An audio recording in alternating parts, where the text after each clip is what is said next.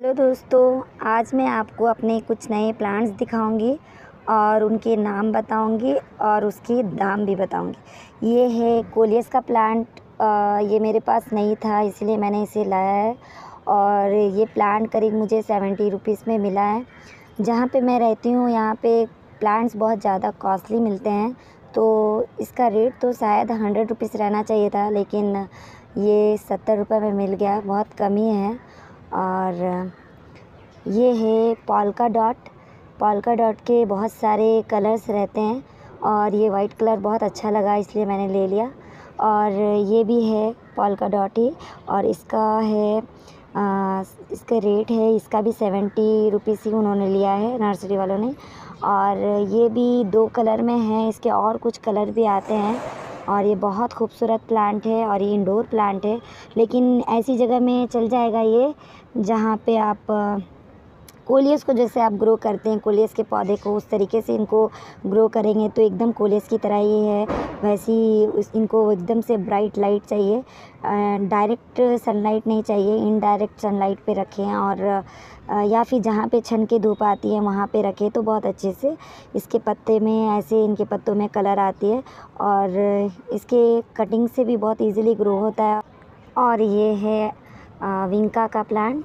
और ये है करीब, ये भी सेवेंटी रुपीज़ में मिला है और ये दो प्लांट है, दोनों अलग अलग कलर के फ्लावर्स हैं इसमें। और ये है बरबीना का प्लांट, ये थोड़ा बुशी सा था और यहाँ भी एक अलग सी ब्रांच थी, लेकिन मैं जब लेके आ रही थी तो ये टूट गया। और अब मैं इन सबको रिपोर्ट करूँगी। और रिपोर्ट करने के बाद आपको दिखाऊँगी। और ये है पॉर्चुलाका का मेरे पास पार्सलिन का पौधा था पॉर्चुलाका नहीं था, इसीलिए मैंने ये लिया। ये सिर्फ़ फिफ्टी रुपीज़ का है और ये भी सेवेंटी रुपीज़ का ही है और बहुत ही खूबसूरत हैं ये पौधे। इनके पत्ते बहुत खूबसूरत हैं। तो आप भी ज़रूर से इन पौधों को अपने घर पे लगाएँ। अब मैं पहले इनको रिपोर्ट करती हूँ, उसके बाद आपको दिखाती हूँ। देख सकते हैं मैंने सारे पौधों को रिपोर्ट कर लिया है और इनको अच्छी तरीके से लगा दिया है। और आप एक बात का ध्यान रखें, जब भी आप नर्सरी से पौधे लाते हैं तो पहले पौधों को दो तीन दिनों के लिए अपने घर पे ऐसे ही छोड़ दें रीपॉट ना करें, जब तक वो अपने घर घर के माहौल में सेट नहीं हो जाते हैं अपने।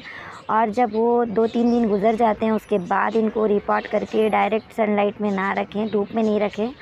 उनको छाए वाली जगह में रखें। दो तीन दिनों के बाद उनको जिस जगह के लिए जो प्लांट यानी कि रहते हैं, जैसे आउटडोर वाले आउटडोर में और इंडोर वाले इंडोर में तो उनको उनके हिसाब से रख लें। लेकिन जब हम रिपोर्ट करते हैं, उसके बाद भी दो तीन दिनों तक उनको डायरेक्ट धूप पे ना लाएँ। यानी कि जब हम इनको रिपोर्ट करते हैं तो डायरेक्ट सनलाइट में लेके आके रख देते हैं। कई बार होता है, हमें पता नहीं रहता है कि रिपोर्ट करने के बाद आउटडोर प्लांट को ला के रखना नहीं है धूप पे। तो इसलिए बिल्कुल दो तीन दिनों तक चाहे वो आउटडोर प्लांट ही रहे, फिर भी आपको दो तीन दिनों के लिए उनको धूप में नहीं रखें। और इस तरीके से मैंने सारे प्लांट्स को लगा दिए हैं, आप देख सकते हैं। और ये मेरा जेट प्लांट है, बहुत अच्छी ग्रोथ में है। ये छोटा सा एक बेबी प्लांट था, मैंने कटिंग से लगाया था, वो भी बहुत अच्छे से ग्रोथ में है। और बारिश ज़्यादा हो रही है, इसके लिए आप देख सकते हैं, इसकी मिट्टी कितनी ज़्यादा गीली है। फिर भी ये बहुत अच्छे से चल रहा है। और यहाँ मेरे कुछ कटिंग्स है। सॉरी यहाँ कुछ मैंने सीड्स ग्रो किए थे। ये है कद्दू का सीड्स और बहुत अच्छे से दो सीड्स तो इंशाल्लाह उसमें ग्रो हो गए हैं। और ये एक तो मिक्सचर का पैकेट रहता है। मैंने उसमें किचन वेस्ट खाद डाल डाल के रखा था। उसमें ही मैंने थोड़ी सी एक लेयर मिट्टी की बनाई, एक इंच की और उसमें सीड्स लगा दिया। तो बहुत अच्छे से ग्रोथ में है। जब ये अच्छे से ग्रो करेगा तो मैं इसे दूसरे में शिफ्ट कर दूँगी।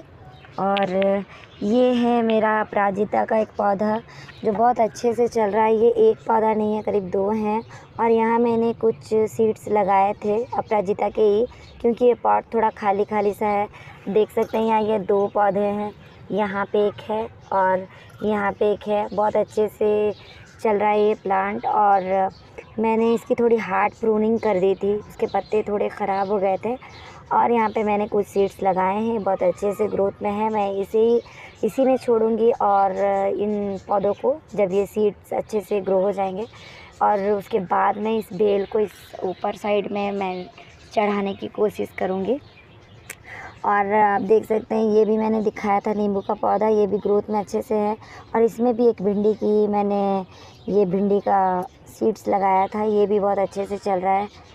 तो फिर ठीक है दोस्तों मिलती हूँ इंशाल्लाह अपनी अगली वीडियो में।